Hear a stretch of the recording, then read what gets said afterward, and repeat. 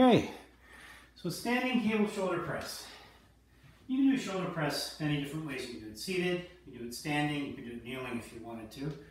Um, you can do it with dumbbells, you can do it with a barbell, you can do it with a Smith machine, a Smith machine. Uh, and I have videos for all these, but today we are going to do uh, cables. Standing up. Now, what I want to do when I'm doing this is I really want to make sure that I'm not overarching my back, because then what I'm trying to do actually I'm trying to make it a bit of an incline chest press, okay? So I'm going to want to make sure that I choose a weight that allows me, select the right weight, that allows me to stay crunched forward so my back is nice and straight. I like to stagger my stance like this while I'm doing the shoulder press. Some people like to stand with their feet beside each other. Either is fine. Um, I find I'm a little less likely to overarch like this if I'm staggered this way. I don't know why, that's just how it works for me. So that's what I like to do. You do whatever you're comfortable with. The actual motion of a shoulder press, if you have good shoulders, if you don't have good shoulders, if you have shoulder problems, you may not even want to do this, check with your trainer.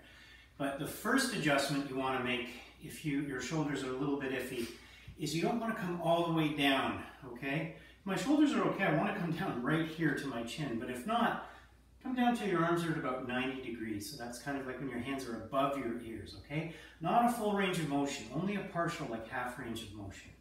And if that still doesn't work, try rotating your hands in like this. Add up to bring your elbows together and do this, okay?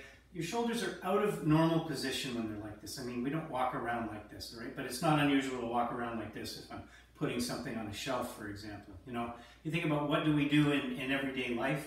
When I put things on a shelf, I don't like this. Oh, no, I tend to keep my hands together like this, or close, my elbows closer together, right? So that's a little more of a natural motion. So those are tweaks that you can make if you have shoulder problems, but there might be better ways of working your shoulders entirely rather than doing a shoulder press if you do have shoulder problems. Check with your trainer, okay? So what I'm going to do here, in order to pick these cables up, I always want to protect my lower back. I don't want to just bend over sloppily and pick them up. I want to literally squat down to get them, okay? So squat position, feet shoulder width apart, nice tight stomach, my back is straight. I'm just going to bend down, pick this one up, bend down, pick this one up. I'm going to stand up with them, and then I'm going to curl it up, curl it up, stagger, and here we go. Breathe in and out. In, out.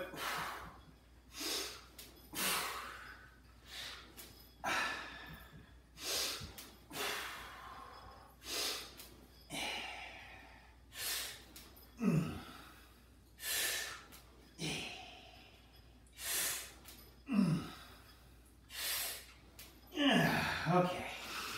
So, two things you might have noticed with me. I have trouble getting a full range of motion because I have tight lats, okay? That is one thing I, I need to work on. I need to stretch my lats. So what you want to do is you want to see yourself, see I can't even do it without um, arch overarching my back and, and I can't even straighten my arms totally. You want to make sure you're not coming out in front like this. That's tight lats. You want to be up over your head and you want your arms to be straight. I can't do that without overarching my back. So your trainer's going to want to show you, if that's the case, how to stretch your lats so that you can do this motion. So you're going to want to be able to get your arms straight up over your head, okay? Not here, but over your head, arms straight at the top without overarching your back to do it, okay?